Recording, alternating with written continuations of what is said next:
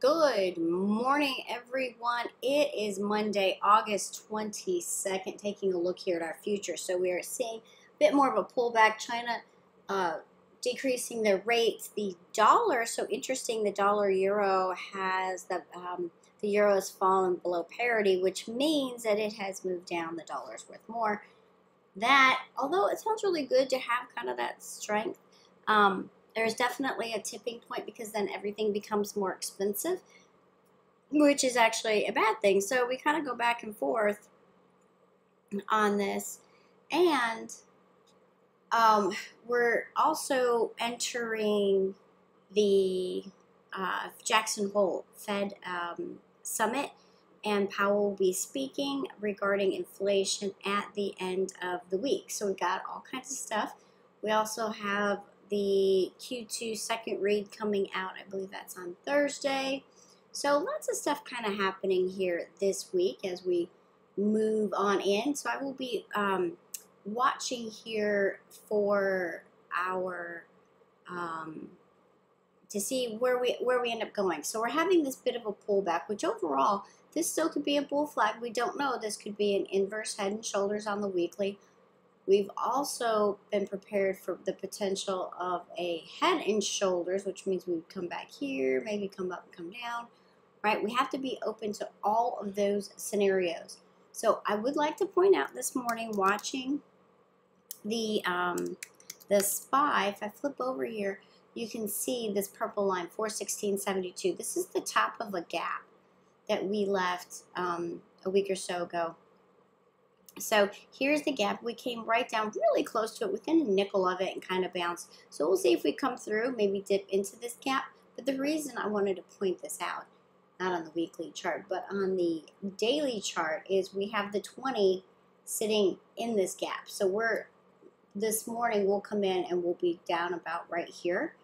But then as we watch, this 20 will continue to move up just a little bit, but will it start to kind of peak out and curve over we're watching for that. On the weekly chart on this um, ES, you can also see that I marked in this line. This was a previous uh, resistance here.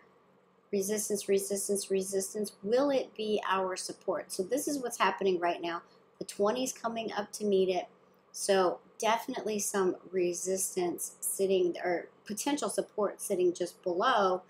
And if I flip back to the weekly chart, we take a look here, we can see, well, that's weird. Huh. Well, I don't know what just happened. Let's try that again. Nope, I don't know. Not, not happening today. Um, you can see that it is, I can do it this way. Right, we're sitting, we came right back to this 34. 34, definitely a big area of support previously, big area of resistance. Now we'll see. Is this just like we um, did here where we you know, we're able to rise above it and then fall back below. This would give us a potential inverse head and shoulders. Again, we could have a head and shoulders playing out. This is why it's so important to not have a bias one way or the other. Pay attention to what the price action is and go with it, but be open to both. It's okay to have an opinion. If you feel like the market's going to go lower, if you feel like it's going to go higher, that is totally okay. But be open to being wrong. Be open to the opposite action and then just play it. So this morning I am being a bit more cautious. We're seeing tech come back down. But one area I still like is energy. So I was up very, very early this morning and I was watching Bloomberg and uh, some competing opinions about energy and that this is just all a false rally. That could very well be. I guess some of the things I kind of look at in it is we are still de dealing with the Putin-Ukraine situation and what does that mean as we get colder? What does that mean for them? You know, not just um, uh, uh, oil, but uh, natural gas, things like this. I think that these are going to continue to kind of contract. We're also seeing that uh, supply contract, rather, not uh, not demand, supply contracting. I also think that with the reports out of New England having, oh, excuse me, having some energy shortages there as well, I think that's going to give us, at least in the near term, a nice little bump here in energy. So I am still bullish on energy. I did get out of Oxy last week on the news about Buffett um, getting approval to take over 50% a stake in it. He has come out this morning, or it came out over the weekend, that he is not looking to take a controlling position in that. Like he'll have, he has the uh, ability to buy the shares, but he does not want a controlling um, role in that. So we'll, you know, continue to watch that, but I'll, uh, Oxy's pulling back here this morning a little bit. But the first one on my list here this morning is actually CVX. Now you can look at any of them, XOM or any of those. Go for it. What uh, I'm watching here on CVX is we've had this continuing kind of tightening. Oh, that is not the tool I wanted. Hold on. Boy, it is a Monday morning and my voice is very raspy, so I apologize. All right, so we have this nice contraction going on. We're getting tighter and tighter and tighter. And with my overall thesis of energy, at least here in the near term, uh, I like CVX. So I'm watching the 160 call. I want to enter that around 159.75 or an opening range break. And I would close it below the 8 EMA. My targets are 161.16 and 164.66. All right, next we're looking at some downside plays. Beyond Meat. So this was, you know, quite a fail here and fail through the 50. And I think we have some more downside. excuse me. I think we have some more downside potential here coming back into this um, this area of um, of volume. You see this volume profile. So I think we're headed back toward here.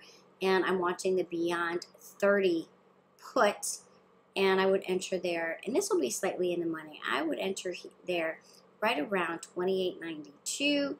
Um, stop if it moves above the 50 MA, and my target would be 24.10. All right, next. Um, Procter and Gamble.